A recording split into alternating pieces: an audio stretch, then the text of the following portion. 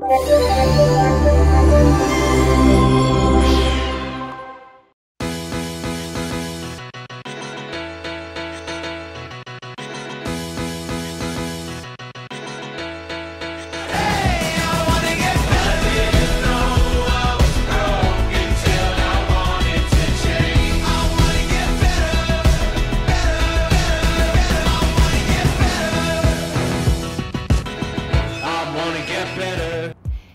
Time to join my colleague Johan now, who is in Stockholm with creative director Fredrik Öst from digital agency Snask.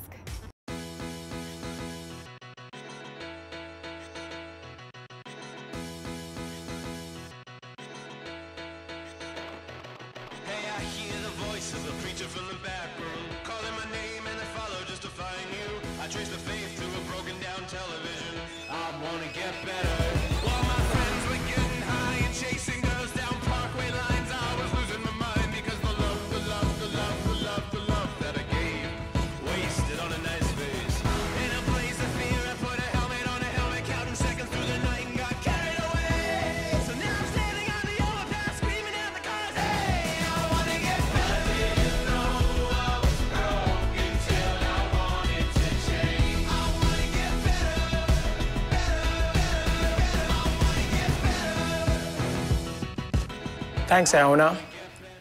Today I'm sitting with uh, creative uh, director Fredrik Öst from the uh, agency Snask.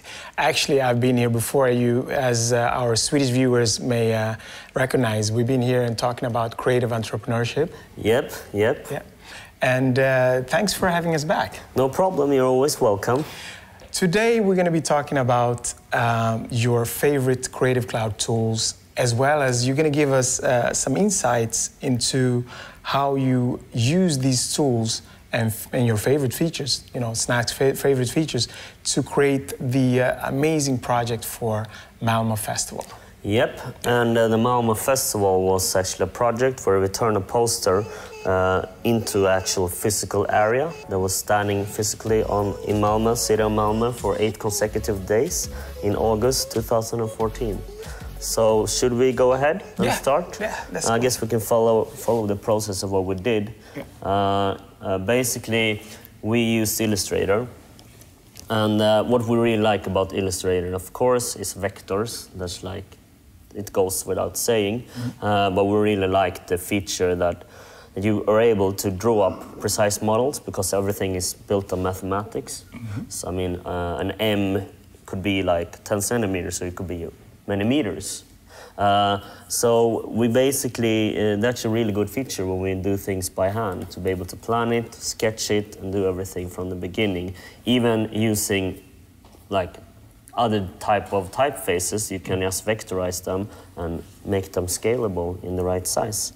I think another feature that we like is be able to, to outline logotypes or whatever just to make clients not to fiddle too much with our design, I guess.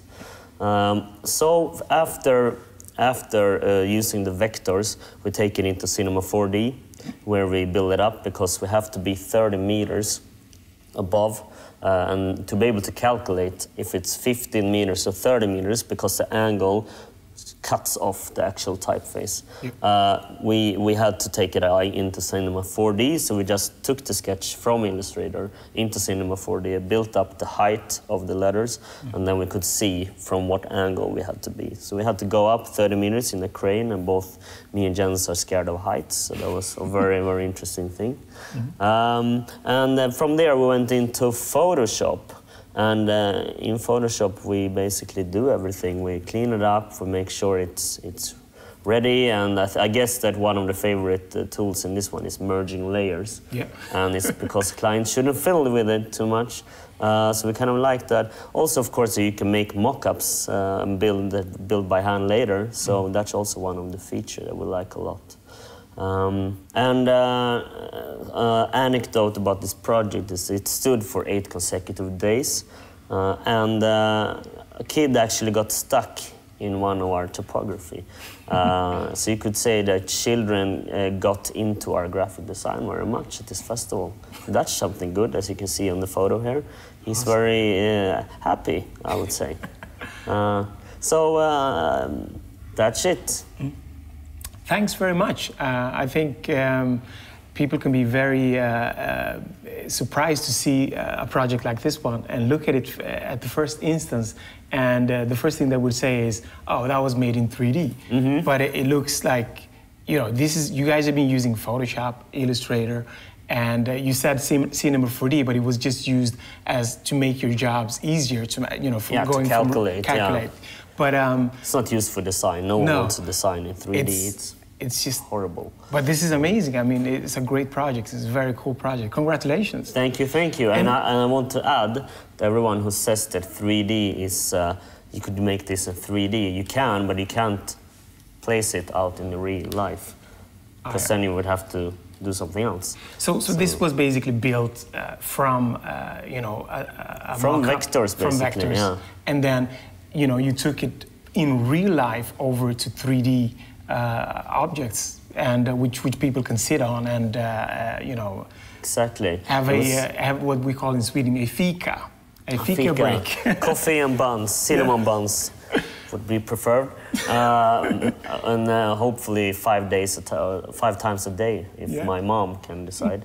uh, also, what's interesting is that we could send uh, the files from Illustrator Hmm. straight into a machine that cut out wood.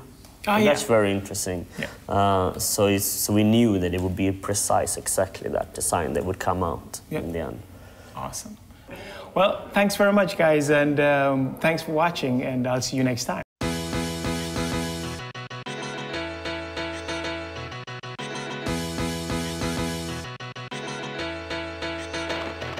Hey, I hear the voice of a preacher from the back room